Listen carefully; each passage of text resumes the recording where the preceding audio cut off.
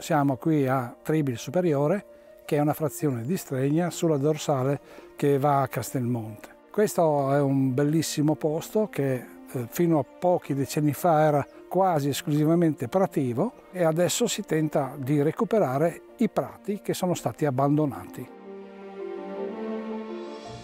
Queste iniziative io penso che siano notevoli perché comunque aumentano la biodiversità dei luoghi, perché anche i prati qui sono molto ricchi di specie erbacee e anche di specie con fiori.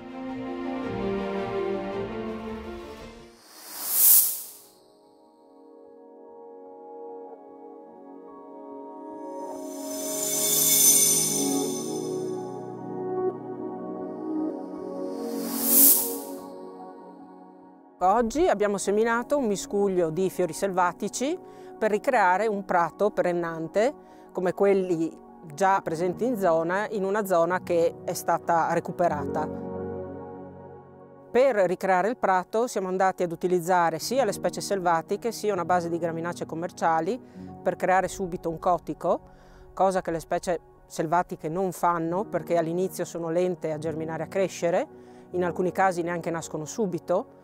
perché a differenza delle piante coltivate le specie selvatiche hanno dormienza, cioè i semi nascono solo quando sentono che le condizioni ambientali sono adatte. Quello che di solito si sottovaluta è che quando noi andiamo a riseminare un prato non seminiamo semplicemente un insieme di specie, ma stiamo cercando di ricreare un intero ecosistema. E chiaramente all'interno dell'ecosistema ci sono tutta una serie di relazioni che si devono ricreare tra le piante, il terreno, la flora batterica del terreno, i funghi del terreno, gli insetti in particolare, ma tutti gli animali che poi andranno ad utilizzare il prato, ad abitare il prato.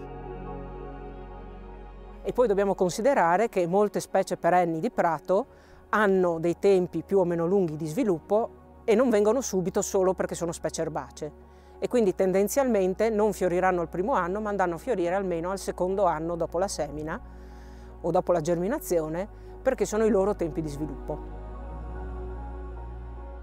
Quindi oggi abbiamo dato il via a un nuovo ecosistema e adesso dovremo monitorare come si svilupperà, che problemi ci saranno, quali specie si adatteranno. Abbiamo messo un buon numero di specie perché comunque ogni situazione è diversa, all'interno di una stessa area si trovano condizioni che possono essere diverse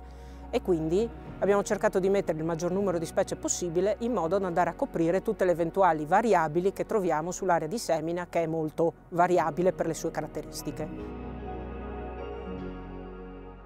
In questo modo vogliamo ricreare qualcosa che vada a ricoprire completamente l'area e ad adattarsi alle diverse micro zone che si creano in rapporto all'ombra, alla pendenza, a zone più aride, zone più umide eh, che vanno a influire sulla presenza e l'abbondanza delle diverse specie.